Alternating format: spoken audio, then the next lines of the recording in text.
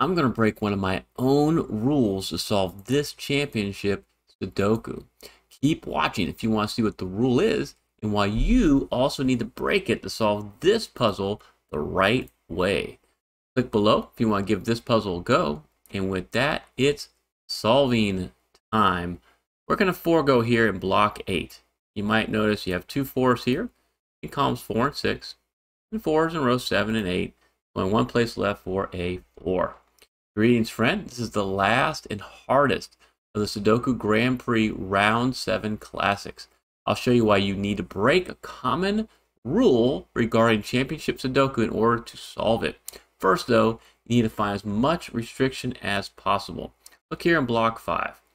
You'll notice there's a 2 that cuts across row 6 and a 2 that comes up um, 4. So There's only two places for a 2.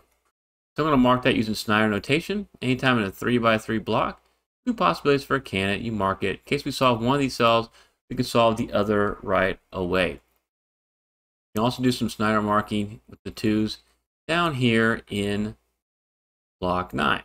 Only two possibilities. And Simon Anthony says when the 2s are not lined up in a row or column, usually spells trouble. And in this case, it does. Okay, there's no Snyder markings we can make with these ones or with the threes at this time. Let's look at the fours. You'll notice in block one, we can put Snyder fours right there. And in block three, and they're also diagonal. And then that's it with the fours. The fives, we can make a solve here. You got this five in row two, five in row one, five in column five. Can solve for two in block two. And then with these two fives and this five, get fives in block four. I'm not done with the fives yet because with these two fives, Snyder fives, block eight. And with these two fives, Snyder fives in block nine. That's it with the fives. Moving on to the sixes.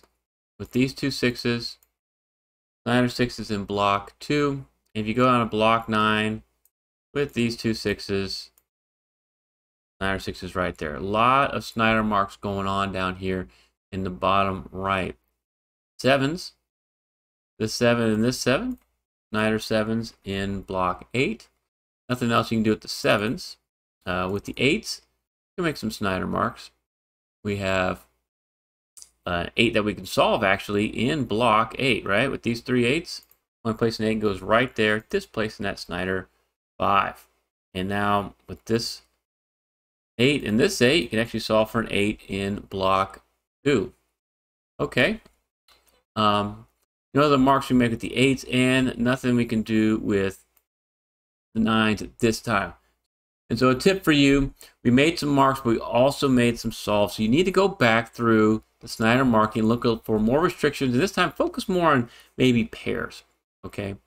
So look at this 2 here, and this 2. Now, the twos are in these two spots here in block two. They're limited to those two spots. And so I'll put Snyder marks here, but they're also a pointing pair. What does that mean? It since the twos are restricted in column five here in block two, two can't be anywhere else in the column. If you try to put a two right there, you have no place to put two in block two. So what that means is you can displace that Snyder two and solve for two in block five. Nice little pointing pair there, very helpful for us. And now you'll see with this 2 and this 2, you have Snyder 2s here in block 4, and that 2 there. You might notice that the 2 and the 5 are in the column, they're in the row 6, and they're in row 4 now. And so they're limited to the same two spots. Another tip for you, this is a situation where you see Snyder on top of each other, you found a hidden pair. And so since the 2 and the 5 have to be somewhere in block 4, they're restricted to the same two cells, that are the only two candidates that can go there. So you can remove all of the candidates from those two orange cells. And I cover hidden pairs and pointing pairs along with the other most popular strategies in my Sudoku solving guide. You can download it for free from the pinned comment below. And I'll get back to why those seven strategies are so important here in just a little bit. After finding this hidden pair, you can actually make a solve with the 8s now. Because of this 8 and this 8, The only place an 8 can go in block 4 is right there. So huge in Championship Sudoku to use these hidden pairs as kind of like place markers to help you find more restrictions. And then with this 8 now on that 8, we have Snyder 8s in block 1. And with these two 8s and this 8, Snyder 8s in block 6. And looking at the 9s, we actually can take this 9 now and put Snyder 9s in block 5. I'm going to highlight a cell for you because this is a cell, if you saw this, then you got a lot further on with the solve than you would just by doing normal Snyder notation because we can actually solve another 9 right here if you saw what could be in this cell.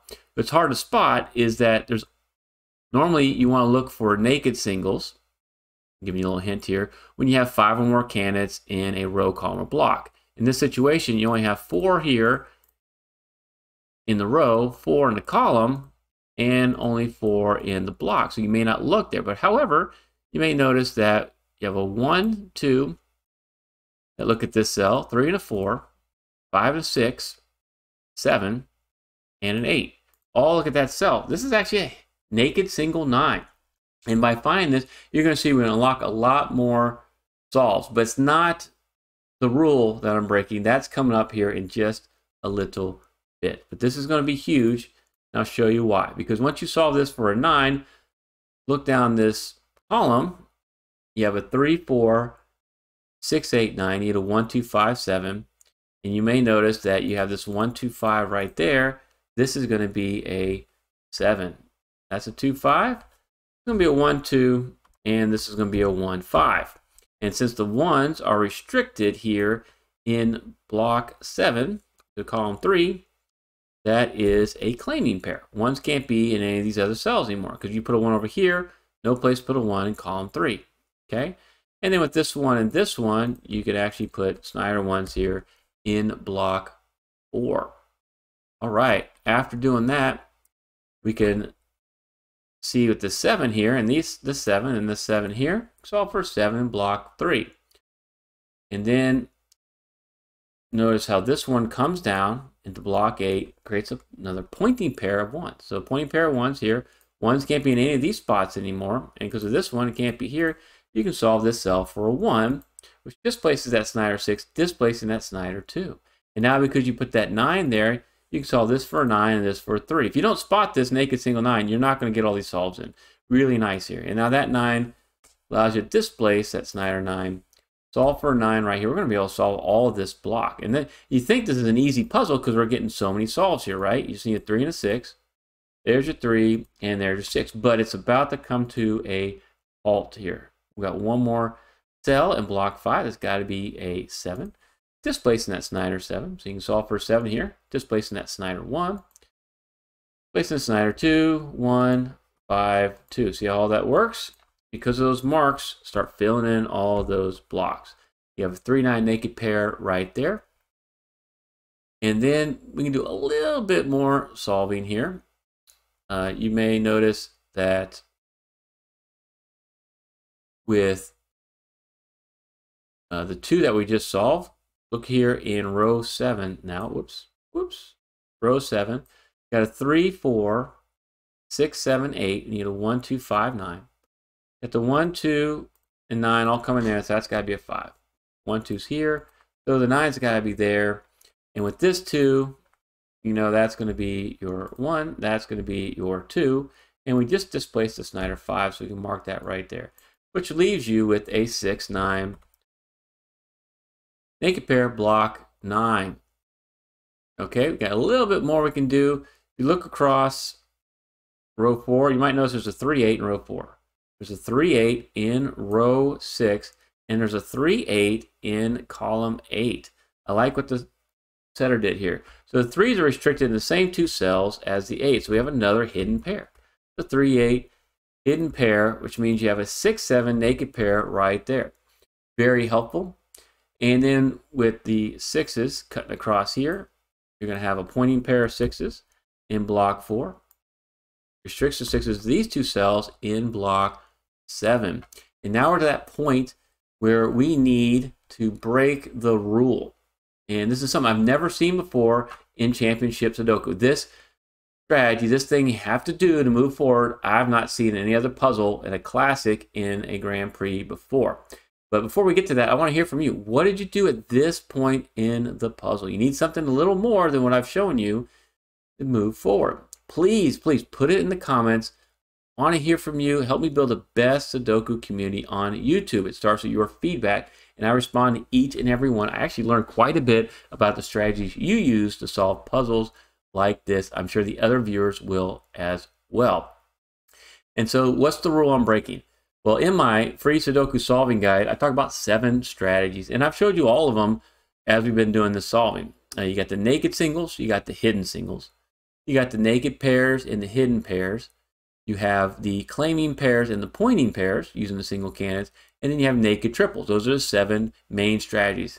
And they help you solve over 80% of the puzzles like this including New York Times hard. However, sometimes you got to go past that. If you just keep looking, and when I saw this in uh, for time, I didn't look past the seven strategies and I got stuck.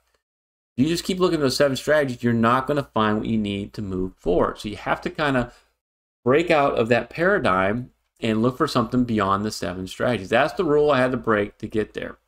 In order to do this, I want to fill out a few more of these columns because the next step would be to start filling out a little bit more in the puzzle you want us looking for single can strategies or you want to look for bivalue cells. And there's going to be something really cool here i'm about to show you as soon as i fill out row 3 row 4